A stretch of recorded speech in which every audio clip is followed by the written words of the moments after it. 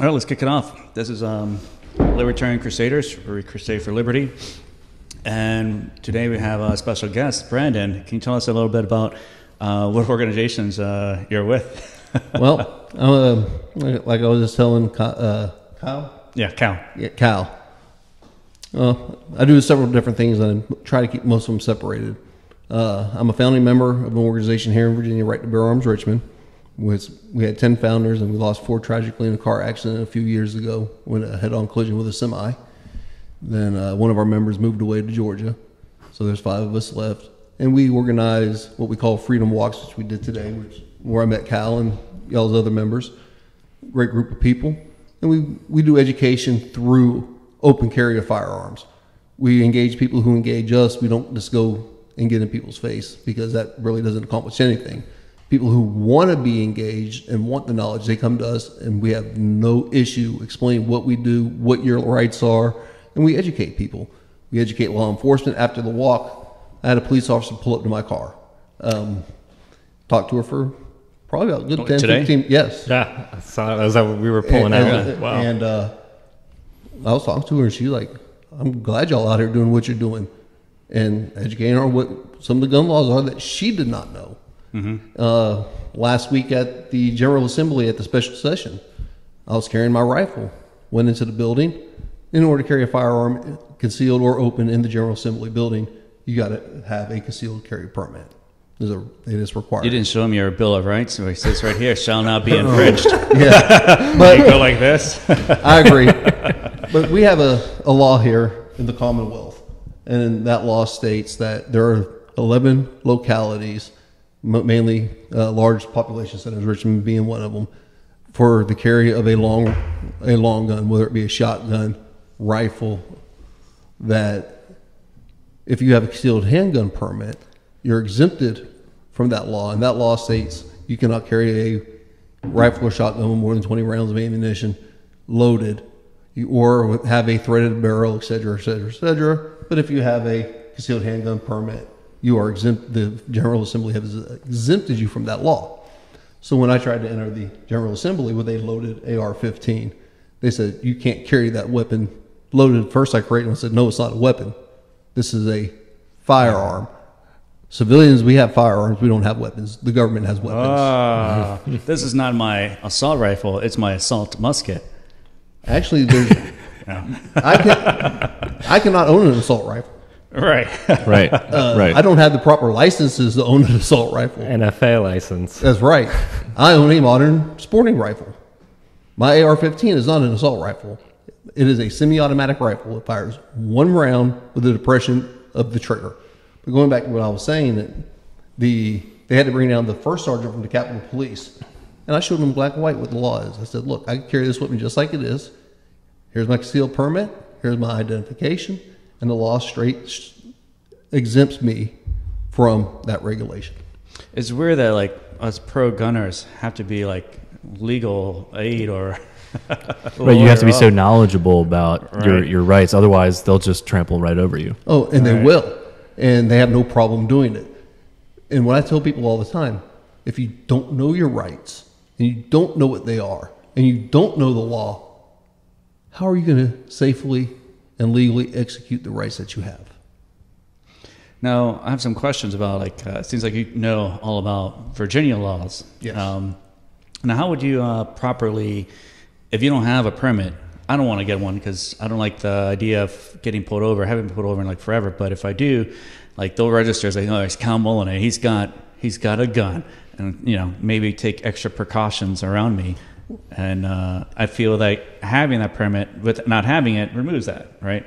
Well, how would I transport it that my gun around not having here in the Commonwealth? You can carry your gun openly without any kind of permit whatsoever. Open carry meaning you can see from three the, sides, correct? Exactly.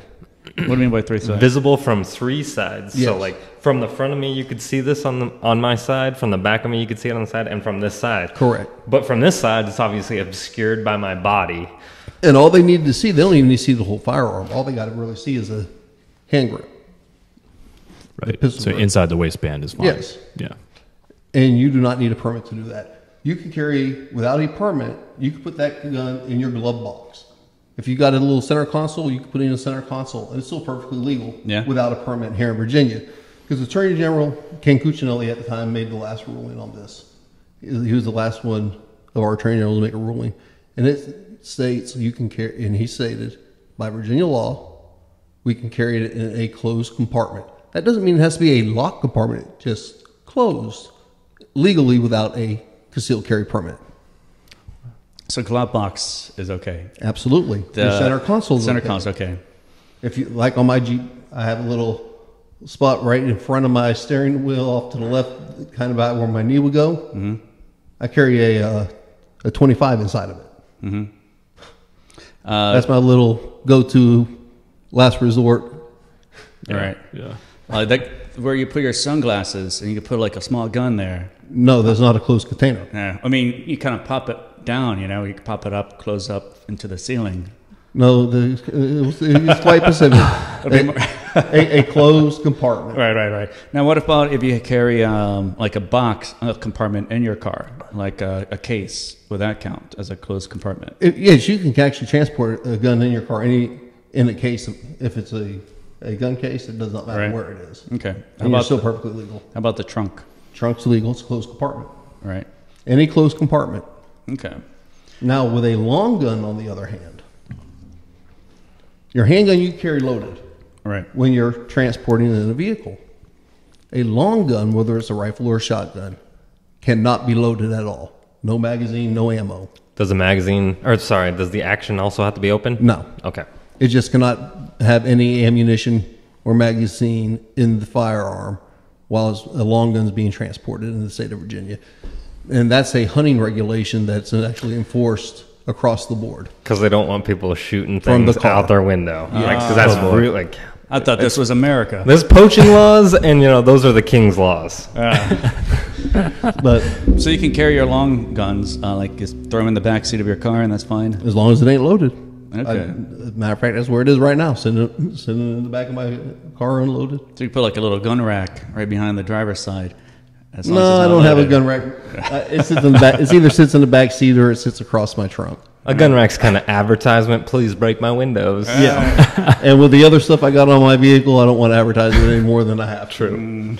Transporting. And that's a four thousand dollar gun when I put the optic on it. Like, oh wow. Right. Transporting it can be. I've heard horror stories of uh, this guy in Jersey, New Jersey, who was moving and he was transporting a bunch of stuff, including firearms and ammo, and uh, to a place in northern Jersey, and he got pulled over by a police officer, and then ended up getting.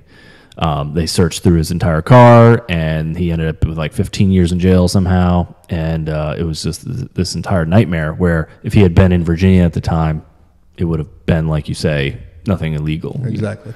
Now, for those of you who cross the border into the communist state of Maryland, I'm going to warn you: if you have a concealed handgun permit, there is a law that we've been trying to get changed to disallow any state that does not have reciprocity with Virginia not to have access to our handgun registry, per, handgun permit registry database. database. Yes. So the Maryland cops can see immediately Yes. the Virginia database. So what they do in Maryland, their highway patrol and their little local police right on the border, they see Virginia tags and they run the tag.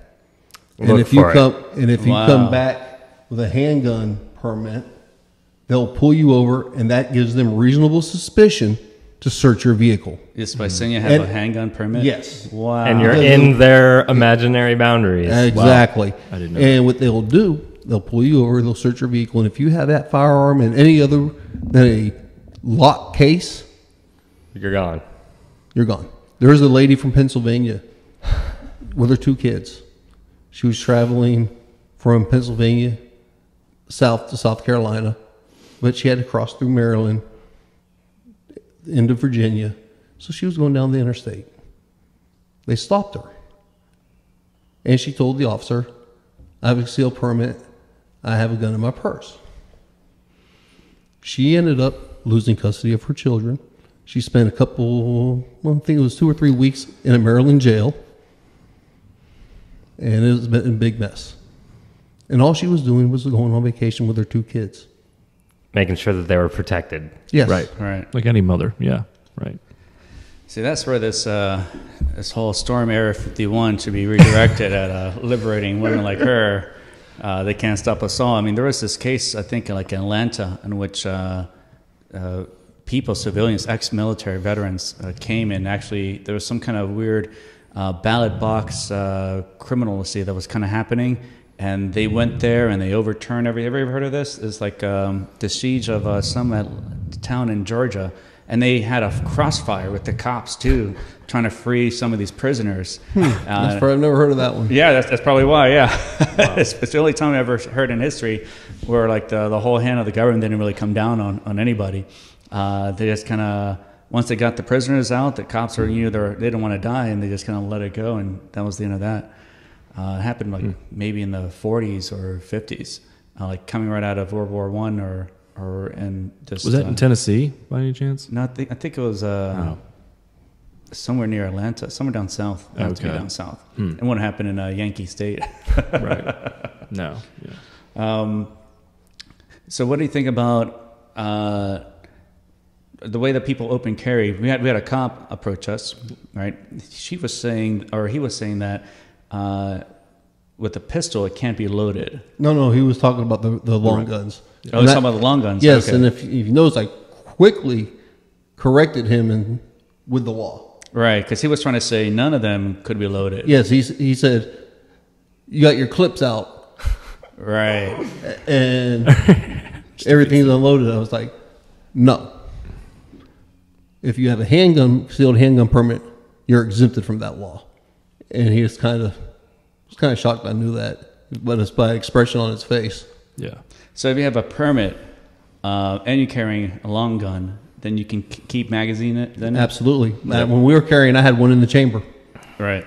And if you don't have a permit and you're carrying a long gun, you're not supposed to have a magazine in it. If it has a threaded barrel, or, no. Right. But If it every has- pistol's pretty much got it. Is, it. is that a weird distinction? It's on a long gun. Okay. Okay. So if it has a threaded barrel, if it can insert a magazine of more than 20 rounds, That's it right there. Is the Oh. 20 rounds, I think. 'Cause Hmm. You could get like a a 1022, uh, Ruger 1022, and you could get a 10 rounder. You could probably I love the 1022. right. It's great. My Walter could you take about six that, and eighteen Would pushing you it. be able to?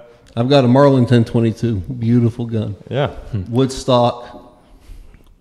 Can't go wrong.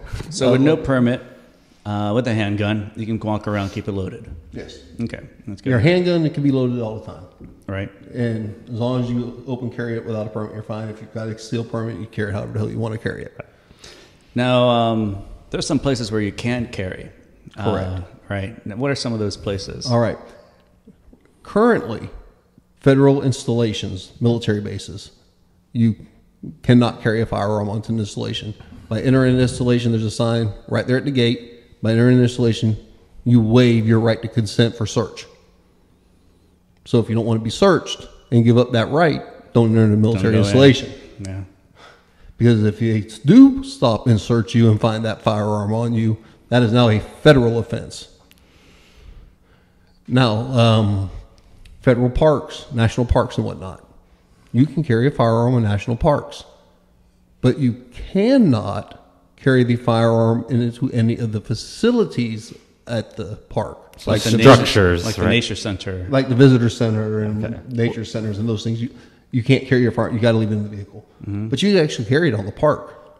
But if you enter a building, you need it, it, you're not allowed to bring firearm. What if you're at like Shenandoah and you, you just step into the restroom? You know, is that does that I don't count? think they'll say anything about the restroom, but if you went into, the, I go to Shenandoah all the time. I love, it. I, I, I love, I love Shenandoah, and uh, I go up there camping quite frequently, actually. And at, like Big Meadows uh, Right, Visitor yeah. Center, you could not bring your firearm. in. Okay. Like, what about these kind of, you know, sometimes they have like these, like, well, this is what a house used to look like, a log cabin. Uh, you can't walk inside one of those either. If it's a federal building, Federal no. building? Okay. Now, the post office, again, is a federal building. You cannot carry a firearm in the post office. You cannot carry a firearm into the courthouse. You can carry a firearm into the police station. I do it frequently. And they won't even blink an eye at you. There was some hmm. case that happened some Midwest where some guys were Michigan. Michigan. They did a, a s- a Second Amendment audit on their police station, and they walked in. Actually, th- those individuals are actually friends of mine. Right. What do you know about that? When when our four members were going and got killed, that's who they were going to see. Really. They're actually no they, they come. James, yes, James Baker. I think. Yes, maybe James one of them. Baker. Yes, uh, fan. he's a friend of mine. I know James very well. He comes down here to Virginia, walks with us sometimes. So what happened there at the station? Uh, they found out that there's no Second Amendment there, right? Yes. Michigan has different laws than Virginia. right. And I'm not familiar with all of Michigan's laws, but James is, and he was being a smart ass, and that's why they did that. Right. And I told him he was a dumbass when he was going to go do it in the first place. but he's out now, I imagine, right? Oh no, Yeah. they, he didn't. Wasn't it, it went didn't go over very well, but there was really nothing that came out of it Right. other than A cool your- video. Your, uh, your here's your sign, Right. As Jeff Foxworthy would say. So you actually go into police stations and you never get any problems? no, Cool. Um, now, Go- Governor Northam before him, Governor Governor McAwful. I like that one. Governor McAwful signed his executive order what says now you cannot no longer carry a firearm into any state-owned building, meaning DMVs, ABC stores. Uh, You think guns and liquor will go well together? well, I've ca- before that executive order was signed, you could carry your gun into an ABC store and buy all the liquor you wanted to buy. Right. You're not drinking it inside the You're ABC store. But under his, Right. under his ex- executive order, now all state buildings are Firearms free. yes gun-free murder zones, as I like to refer Right. to them as. Target rich environments. So here in Richmond, if you went downtown and you had to go to the say the Department of Elections, you cannot carry your firearm in the Department of Elections anymore because it's a state-owned building. Wait, did you say this was a law that got passed? it's an executive order. an executive order. Now, when McAwful left office and the people elected Mr. Blackface Racist uh, Governor Northam, Baby killer. yes, that too, Yeah. absolutely. Blood's all over his hands, body. Yeah. But He's an he re- infant neurosurgeon. Yeah. yeah, but he renewed McAwful's executive order. He renewed it? Yes, he did. So how would you get rid of that? This is how we get rid of it. We have to talk to our legislators. They can override that executive order in the House of Delegates and the Virginia State Senate. Lobby your legislator. Talk to them. Don't email them. Go to their office. Do do like I do. I go knock on their door. You know where they live? Sure I do. Matter of fact, my delegate lives about a block and a half from me in Hopewell. I mean, another thing I do, I'm the chairman of the Republican Party for the city of Hopewell. Get to know your people of your political parties, whether it be Democrat and Republican. Know who they are. I think the lobby day was a really good uh, show of force. Yes, it was. Uh, early because early in the morning when I arrived, I was like, I saw all these anti-gunners being bussed in. I was like, where did all these people come from? Uh, and I was like, where are all the pro-gunners? They were inside already. We Uh, were inside the building lobbying our legislators. It's it's a great show of force when they go in there and all the pro-gunners are in there with the stickers on. They occupied it before all the anti-gunners can get in there. And that was our plan. yeah. because our organization, Right to Bear Arms Richmond, worked hand in hand with another organization, Virginia Citizens Defense League, or known as VCDL. And I'm a member of VCDL. I've been for many years. I know their president very well. I know their executive committee, and we work very well with them hand in hand on a lot of events. On that special session lobby day, Phil Van Cleave of VCDL, VCDL headed up the legislative side of the event and my our organization, Right to Bear Arms Richmond, we ended up we headed up the uh, the rally portion and the political show of force, kind of getting people in the building. So it was a hand in hand effort by the, both organizations Yeah. working together. Yeah. and we work hand in hand frequently. Uh, I think it's uh, like here in Richmond. There's a lot of uh, pro gunners. There's uh, there was one guy who came up in front of us to reveal he was uh, had a concealment. Yeah, Yeah. in his back when he looked at the shirt. For a minute, I thought he was going to moon us. For a second, I swear. Yeah, you did say that. he turned around. and was like, oh, I was like, oh no. yeah. The odds of that happening, though, people walking up to you and saying, "All right, yeah," it, it's it, from where I'm from. It's like DC area, it's just a totally different story. It's, it's like Well, a totally different place. And, and like I told the, I, I forget who I was talking to this morning. Um, someone asked me, "What kind of reactions do we get?" And I said, "It's mixed. You're gonna have people who, who are for you, and you're gonna have people who are against you, and you're gonna get both kind of reactions. It's depend, and same thing with law enforcement. You're gonna either have a good reaction with law enforcement, depending on the officer that responds, or you're gonna have a negative reaction by the officer who responds, based off of their pre thoughts of what the law is, and most of them don't know the law anyway. Or on what side of the bed they woke up on, just with anybody. You know, Exactly. you might come across somebody who's having a bad day. And, and like I tell people, one thing, the first thing I said this morning, all, all y'all can verify, I said, look, law enforcement interaction, comply, comply, comply. If they're wrong, we'll see them in court. Don't give them a hard time. Yeah, if you're good point. dead, you have no recourse. If you comply with the officer, you show them what the law is, you talk to them normal, and if they want to be stupid, and Sue them for everything and then use the money buy more guns. again, if they want to be stupid and think their badge allows them to circumvent the law, because a lot of them are like that, then we'll see them in court. I think that the people that they approach, that they know they're armed, they're less likely to have a bad attitude. No, I can tell you, I've had at three law enforcement agencies across the Commonwealth put guns in my face simply for me exercising my Second Amendment right of carrying a firearm. when was this? Well, the city of Hopewell did it, and Hopewell. Wow. They did it in 2013 when they learned the hard way when I took them into federal court and I sued on the first, second, fourth, fifth, and 14th Amendment violations and I cleaned their clock in federal court. Wow.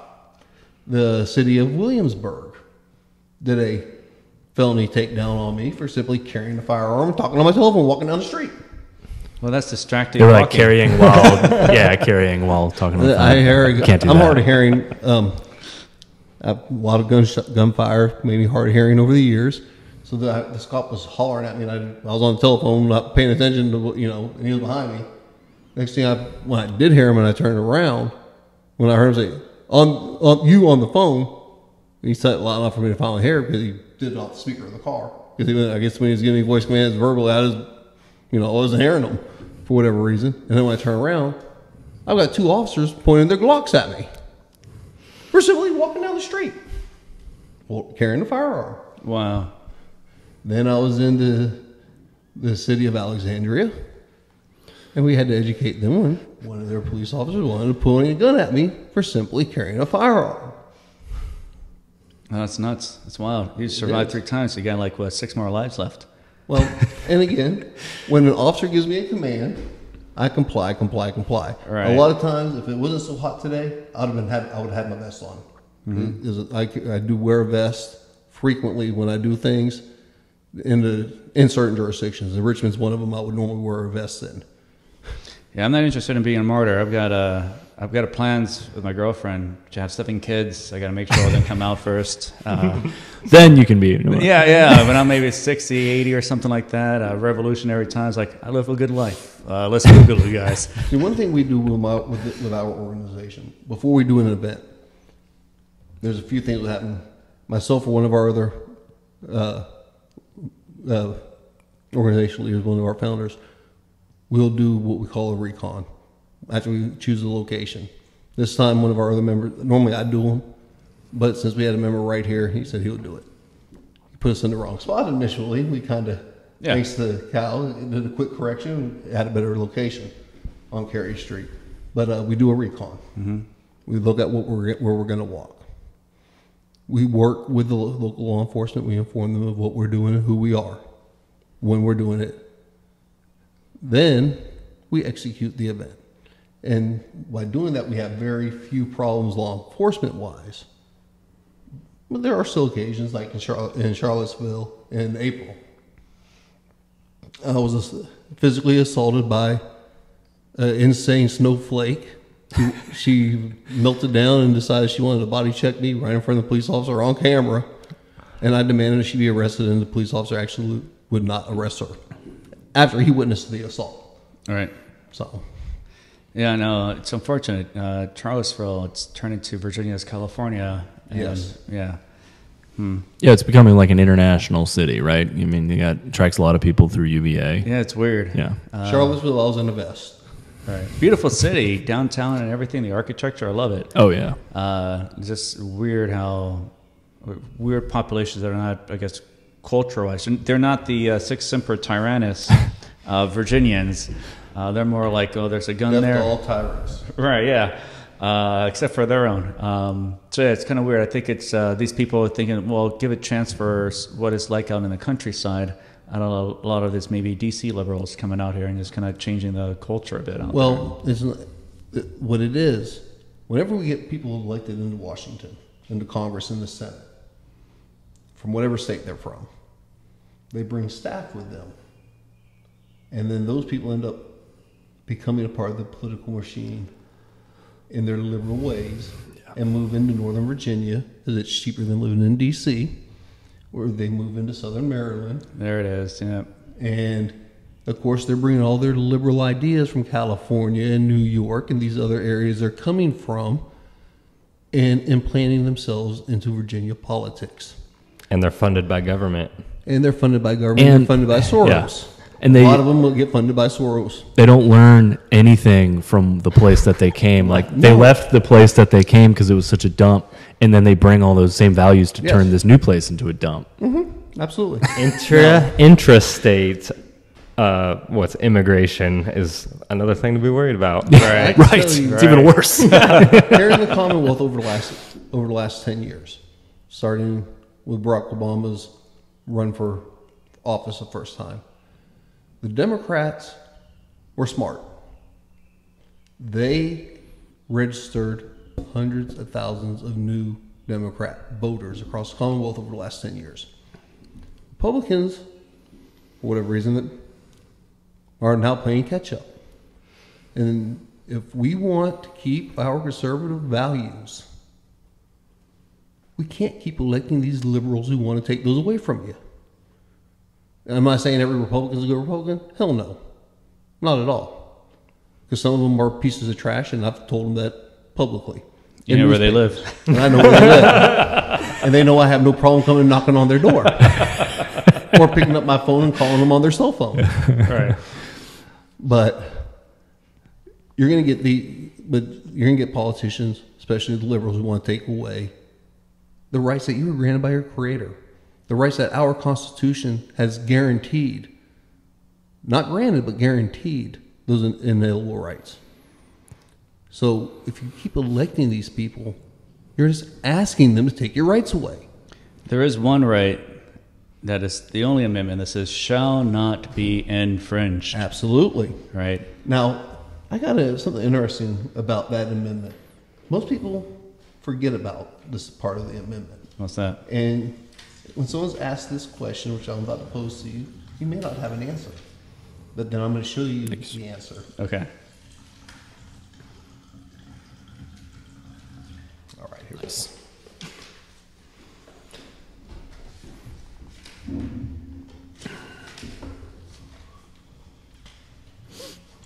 I, I hate these new books; they're hard to get through. Papers are glued together almost. Yeah. There we go.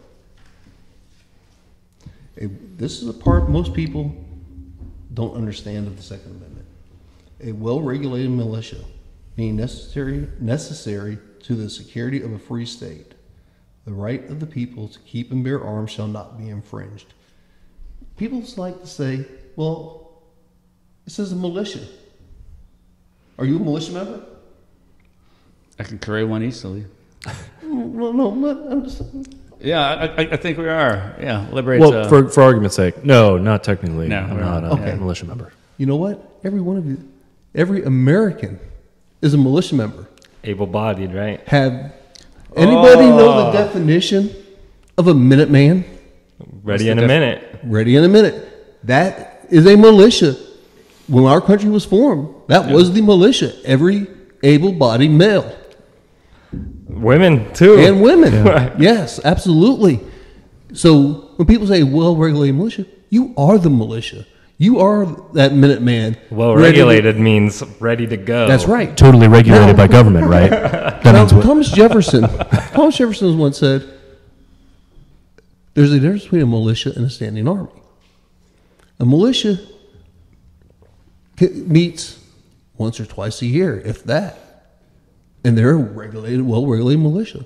Does a Minuteman have to actually go to formal training? According to Thomas Jefferson, no. You don't need formal military training to be in a militia.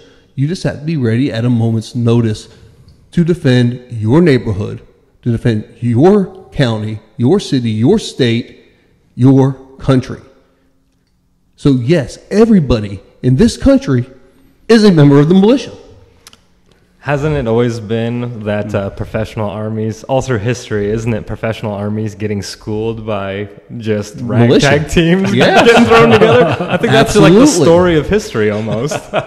You're absolutely correct.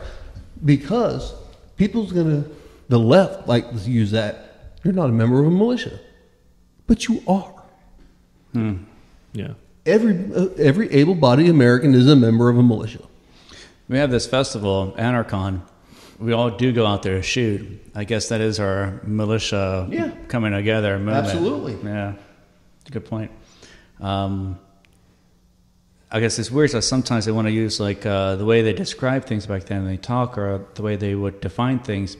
Nowadays, they want to kind of define it differently. I've, Yes. I've seen I'm your- glad you said that. I've seen uh, textbooks in like high school just redefine what the Second Amendment Well is. Well regulated is the Right. key Yes. problem. And when you're looking at the Constitution, you cannot look at it in the meanings of the words today. You have to look at it in the meanings of the words in 1779 when the Constitution was ratified, was wrote, ratified, and accepted. Well, if we were to keep their sort of logic, and if we were try to try to read Shakespeare today, it'd be like reading a completely fucking different language, right? Yes. So, yeah, there's either uh, they fail to see the bigger picture. A lot of times, they don't like to dig deep into things. No. the, that, so we, we addressed the first line of the Second Amendment, a well-regulated militia.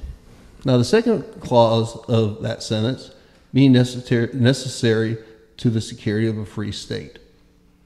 What does that mean? Uh, in order to prevent, I guess, possibility of tyranny, you have to have. That's uh, exactly what it means. right. Is to put down a tyrannical government. If our government became a tyrannical government, it's for the We to the protect means. the people to give them the means to resist tyranny. That's your right to self-defense. That's what that clause is. And a free state, the state that they're referring to, Is- not the federal government. No, they're referring to The individual Virginia, states. Right. There was California, Georgia, all 50 states. That is the states they're referring nothing to. in there where they're ever talking about a federal government. Even when they write United States, the letter U is uh, lowercase. They're talking about the states themselves and the event that our own states have become tyrannical, sic semper tyrannis, to better continue our path towards liberty, in which it was forged. Death to all tyrants. Right. Here in Virginia. Yeah. That's our motto, death to all tyrants. Great motto. Uh, compared to like Vermont, we love cheese. I guess. uh, I think it's a good cultural. And Volvos. I think they love cheese and Volvos. All right. Right. Now, Banner. now the next clause of the Second Amendment. The right of the people to keep and bear arms. Who's the people? we are. And the most powerful statement that everybody knows Shall not be shall not be infringed. Now, does anybody know contract law? There's, uh, I believe, seven proponents to that. Okay. In, con- in contract law, Constitution is a contract. It's a contract with this, the many states to the federal government. The word "shall" in a contract. Anybody know what that means in a contract? Uh, has to be done, right? Like it Must. has to- the It key cannot component. change. Right. Yes. The word "will" means you got wiggle room. You can change things. it's But inconceivable. the word that- "shall" It's means it stone. must happen. So, so shall not be infringed. When the federal government comes down and says, you got to go through a background check, guess what? You just infringed on my right. Now, there's another interesting amendment. Who knows about the Fifth Amendment? Uh, don't infringe on thyself. Self incrimination, right? Yeah. Right. Yeah. But there's another part of the Fifth Amendment people are not familiar with. What's that? The second part of the Fifth Amendment. All right, let's read it. No person shall be held to answer for a capital or otherwise infamous crime unless on a presentment or indictment of a grand jury, except in the case arising in the land of naval forces or- in the militia. And that's talking about military law. Your military is not subject to the civilian law; they have subject to the military law.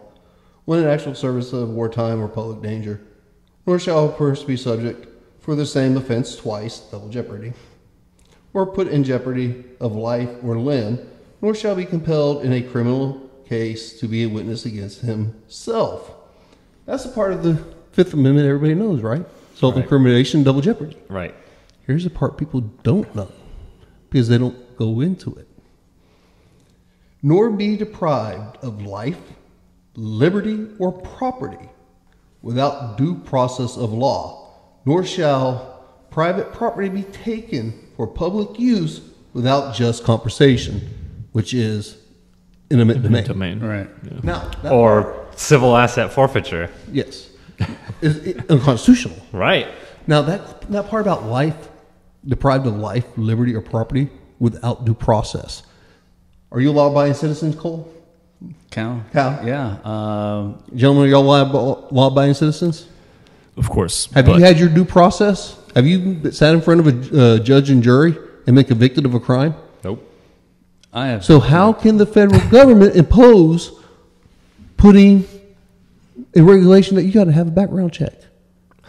They can't because you have not had your due process. You they cannot take your liberty from you So until you've is- had due process of law under the Constitution. When I have discussions with people on the street, this is one thing that I, f- I go to off the bat a lot of times is, can you tell me how many laws there are? Because most people can never answer this. And they can't because Because it's impossible, right? It's never there are ending. so many you'll be count for the rest of your life. So this is their end run around to try to, you know, cage people into giving up. Now, their- right now, I have filed in federal court with uh, my attorney Jonathan Mos- uh, Mosley.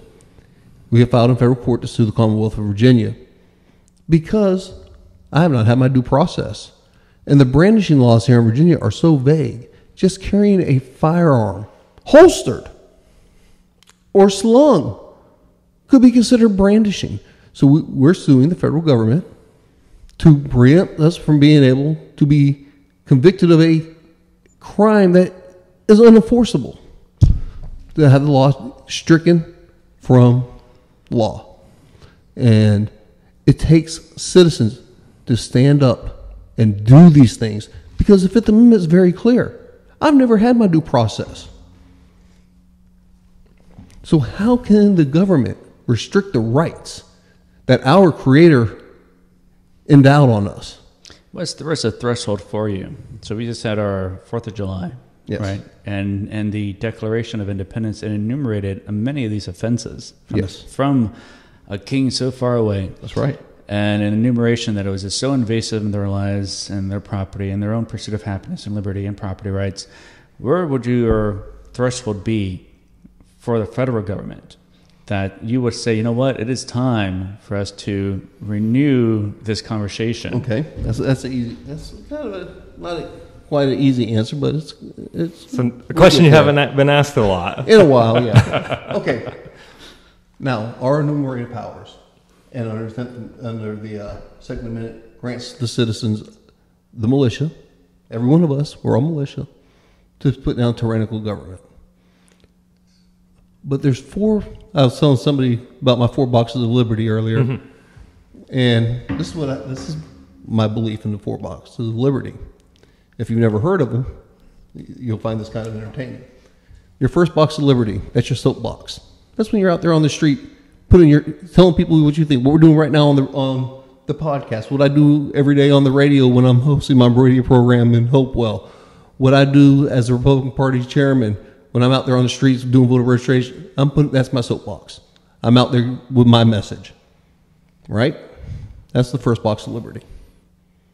The second box of liberty, that's the ballot box. That's where we're electing the people most like us, because we are not a democracy. People call us a democracy all the time, and that's not what we are. We are a representative republic, where we elect our officials to represent us. They cast the ballots based off, and they govern by our consent. And our consent is the ballot box, because we could unelect them as easy as we can elect them, or replace them. So that's your second box of liberty, that ballot box because we will be governed by our consent, not their consent. And we have the right to take that consent back by the ballot. Your third box of liberty, when that fails, is the, uh, is the jury box. You take their ass into court and you sue.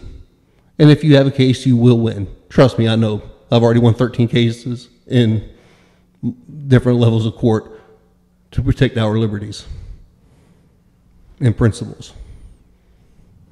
And when all else fails, you, could you will always have the right under the Second Amendment to resort to the cartridge box. Oof. But then, Right you know, here's my cartridge. Although you got you got baby bullets. My AR takes big bullets. 762 rifle or AR? 760 by 39. Yeah. Right. what do you think of the countries that have the AK on their flag? That's pretty impressive, huh? It is.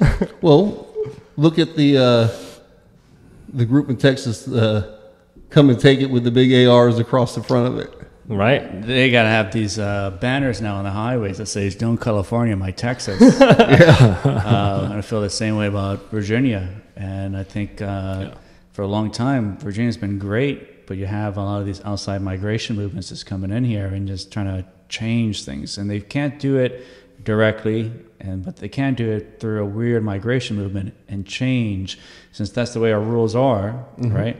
And try to manipulate that. And and the way we fix that, if you are a conservative and you're not registered to vote, you're dead wrong. If you're yeah, but what about what about all the people that are registered to vote, but they're liberals, and so they're they're coming in and they're saying, you know, it's like one man, one vote principle that's Yes. hammered down our and throats. that's why I'm telling you, if you are a conservative and you are not registered to vote, and you don't go and take your your brother, your sister, your mother, your father, your best friend, your neighbors, and get them conservatives with you to the polling booth, you're wrong. What if that's we are just though? asking the liberals because they're going to outnumber us if we don't show up at the polls. What if they And just continue to outnumber you? What if, yeah, we do That's vote. what we're trying to do. Right, right. We- Get But registered. Get registered. Get your family I'm registered, saying- and go to the poll. I'm saying, what if that's not enough? What if they continue to come in? Where's the turning point on that? there are enough unregistered voters in Virginia, conservatives. We can overturn anything they can put out right now, but we don't have the people registered, and the and the ones who are don't go to the polling place and vote. Wasn't it that state that they had the Republicans uh, disappear from uh, the Oregon. Oregon, Yeah. Oregon, yes, that's a great strategy, right? that was a great strategy. right? It was most, illegal. It was very legal. the most base thing they could do. I'd imagine. like here, I could imagine, like say, like even the Democrats say that they did control, but they need a certain number of people vote to come in there. I would house a Republican come here to my Yeah. house. Uh, I would love for them to also say, bring bachelors and plenty of uh, ammunition and bullets. Yeah. Um, all government, all government meetings, and most business meetings, and on all party meetings. Is anybody familiar with the Robert's Rules of Order? Yeah, yeah. What is that? The Robert's Rules of Order is a guideline that's been around for hundreds of years, and that dictates the parliamentarian of it, the, the way meetings run through uh, parliamentarian processes. So, part of the parliamentarian process, you got to have what is called a quorum, and that's a certain percentage of the majority present of that organization to be able to conduct business. So when the Republicans left Iowa, or was it was it Oregon. Oregon. Oregon. Yeah. When they left Oregon, the Democrats did not have a quorum, and since all government business is regulated by Robert Rules of Order, a quorum could not be met. Therefore, they cannot do business. Therefore, they cannot have their gun control vote. Therefore, we use the parliamentarian process. I think it was a tax. It was a gas tax. gas vote. tax. That's what it was. and there was a bunch of farmers Farming. and people Could that not, work uh, for a living. So by them not showing up, all they did Cap is prevented a quorum from being formed. Ah. Therefore, that legislative body was unable So, to vote. But technically, I believe the Democrats in Oregon only needed two more. They needed to change over two of those elected officials to Democrats, and then they could just steamroll yes, them without they, that. exactly, because then they'll have a quorum. Right. But since there's more Republicans than that number. than required for the Democrat, the Democrats don't got enough required by themselves to be a quorum. The Republicans did what they did to prevent the quorum. And then the to prevent that Democrats are just going to rewrite some districts lines and then get those guys out of office. Ron Paul, I remember, always would say that I love Ron. Yeah, same. And he uh, he would always say that you know liberty isn't as popular as statism because it's so easy to just tell people, "I'll give you fifteen dollars an hour or sixteen dollars," and you just keep like bumping up the numbers that you're going to give free stuff. And so that's so much that's so much easier than to tell people gives- we got to cut gives the- spending. and what gives Yeah. the government the right to take your money and give it to somebody else? Uh, they'll just use our rules against us if they're flooded by other liberal migrants coming in here. They'll use the rules that are in place to say, yeah, it's a majority thing, and they just flood it. This is what um, many countries, and this is what like uh, the Russification of Ukraine, how that occurred, how Turkey took over half of Cyprus. Yes. uh, it's just a it, So interesting basi- tactic. Basically, what our government does, they use the force of losing your freedom, prison, to make you pay charity Yeah. to somebody else. I should not have to be forced at the point of a gun Right. Right. Yeah. to give charity to somebody that I don't agree to that money going to. If I want to give my money to charity, I should be able to pick and choose my charity. I shouldn't have the government by the force of by the force of law, by the color of law. The largest charitable group in this country is not the government; is actually uh, It's the, ta- Christians. it's the taxpayer. Well, best That's for the the- it's taxpayer. a taxpayer. Real, real charity. right. Like, that's forced charity. Yes, and and that's why the income tax is wrong, and it should have never been put into our constitution. But at the time, it, we had a liberal president, we had a liberal House, and we had a liberal Senate, and they amended the Constitution, and they got two thirds of the states legislators to ratify it, and they passed the income tax. I believe it's what the What? twenty first amendment. No, no way, no, no, no. I've, I've come, I've come, no, I've come to an under, different understanding that there is no law that says you have to pay income tax. Yeah, it's, it's None. actually in the Constitution now. No, no, no, no. I'll show you. yeah, please show me. I've, I've, I've heard like um, people who used to work as a tax collector because someone told him like, find me the law. And he said, uh, yeah, there's definitely laws. I've been working for a long time. And he went around asking his supervisor and his boss. Like, I couldn't even find a law that says anything about income tax. Sixteenth Amendment. I'll let you read it. Congress shall have power to lay and collect taxes on incomes. Uh, wow, what?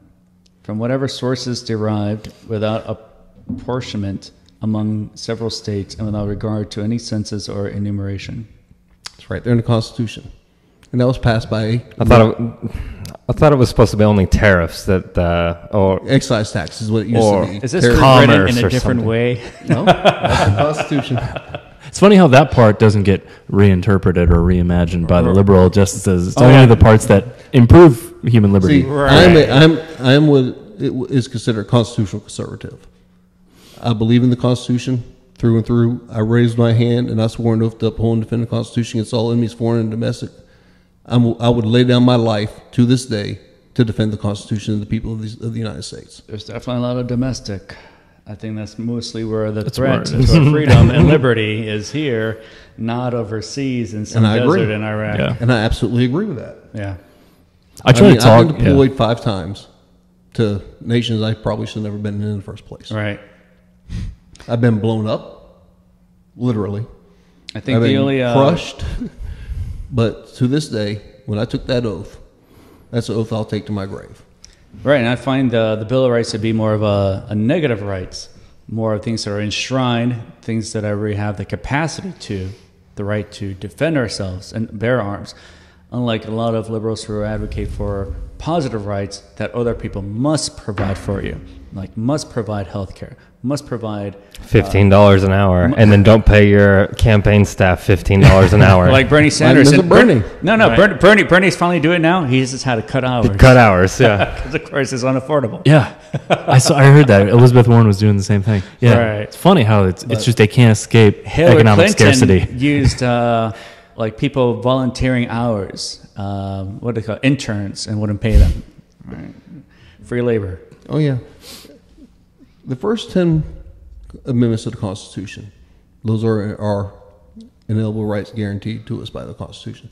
Why do we have the first ten amendments? Anybody know the reason why we got the first ten amendments in the Constitution? because they fucked up ten times and forgot things. No, oh, I, I thought the word amendment means after. Uh, it is. but there's a reason we there's a reason we have the Bill of Rights. Anybody know why we have the Bill of Rights in the Constitution? I think these are stuff that were enumerated in the state constitutions before the, they came together to agree on Nope. a earlier one. No. We had a very famous Virginian by the name of Patrick Henry. I go to his mall all the time. He was here in Richmond, uh, Patrick where Henry, he remember made his, said, "Give me right here in Richmond, give me liberty, Yeah. give me death." It's the most famous line. Yes. but his real his Well, whole speech is much after, better. After the Articles of Confederation died, That's my favorite holiday. People celebrate the Constitution Day. I'm an Arcos Confederation guy. yep. so our founding fathers decided the Articles of Confederation did not work, and they were writing this Constitution. And a part of the Constitution was have to be ratified by two thirds of the many states, thirteen at the time. And Patrick Henry said, and a few other delegates said, no, Virginia will not ratify this unless we have A, B, C, D, E, F. And he started the Bill of Rights. And the Bill of Rights were added so the Constitution could be unanimously ratified by all 13 states. And same thing with the, uh, was it three fifth rule? Right. The three fifth compromise? Yeah. That was also added, uh, wrote into the Constitution specifically so the southern states would ratify the Constitution because they wanted the Constitution to be ratified unanimously. So that's why we have the Bill of Rights. There's controversies about ratification. I know that Tom Woods, uh, guy, a libertarian guy I listen to a lot, uh, has talked about the way that the Constitution was presented to each of the states, and then yet later on, and Alexander Hamilton was instrumental in the Federalist Papers and Yes. talking about it and selling it to the Federalist states. Papers are a very good resource, so are the anti-Federalist Papers. Right. Right. And then yet afterwards, Hamilton and, and uh, among others uh, sets about to totally reinterpret the Constitution and under, undermine it. And if people would actually read the Federalist Papers and the Anti-Federalist Papers, for those who don't know what that is, the Federalist Papers were the writings of our founding fathers explaining the Constitution in their own words to promote the Constitution's ratification. The Anti-Federalist Papers were those of our elected delegates at the Constitutional Convention of 1779 against ratification of the Constitution. Hmm. And because of the anti-federalist papers, and mainly our man Patrick Henry was a anti-writing, is why we have the Constitution the way it is today.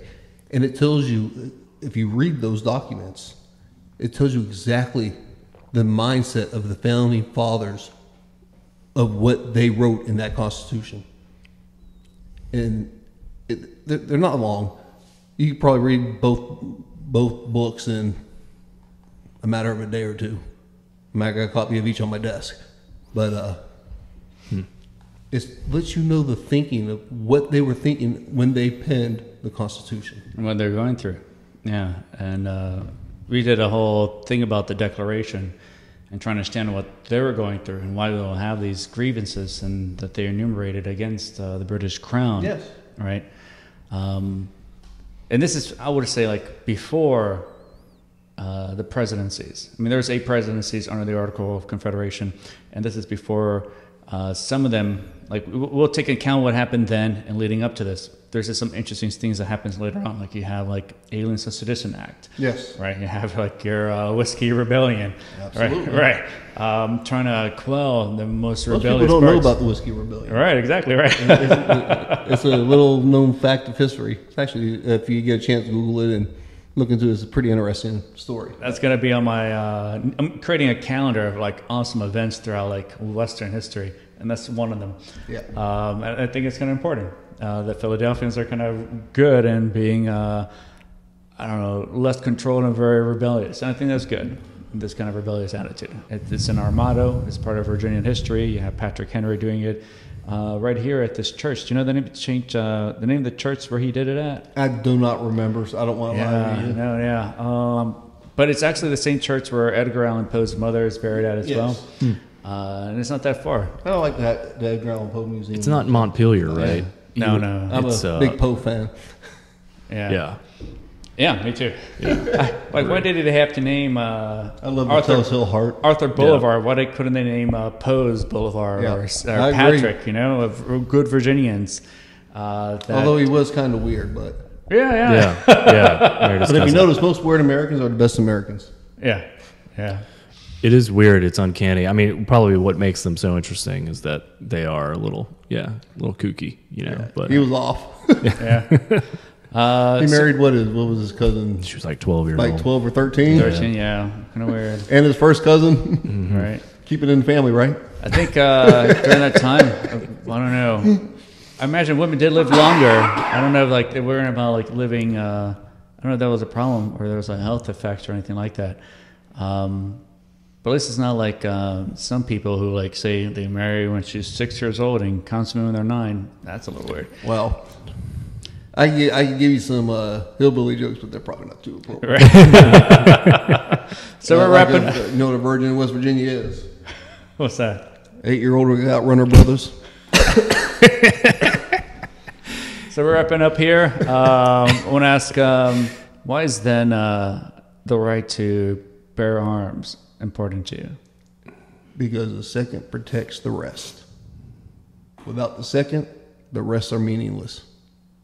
And what do you think, just as a closing note, like, I- I always hope that the people who saw us today kind of get it like, oh, wow, that's cool. Now I don't feel as intimidated by somebody carrying a gun. You know, do And you I get tell that sense? people, I tell people, any right has to be exercised freely without fear. If you fear to exercise your rights, you're asking the government to strip those rights from you. You cannot be fearful to carry on and execute your God given rights.